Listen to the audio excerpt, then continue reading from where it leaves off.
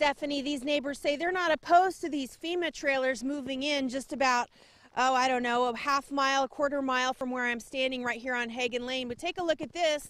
These are the train tracks that neighbors fear could box them in. This is something uh, that they're concerned about. They say they have been evacuated before, and if they try to go west, they could be boxed in. But they say Hegan Lane is their only way in and out.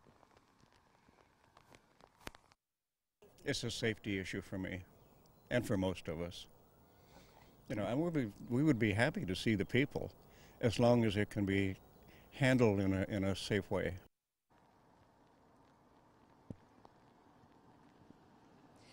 I can tell you that even though it's 5:30 in the morning, traffic has already picked up here. Hard to believe, but they've been pulling into Lulu's all morning, which is just right here.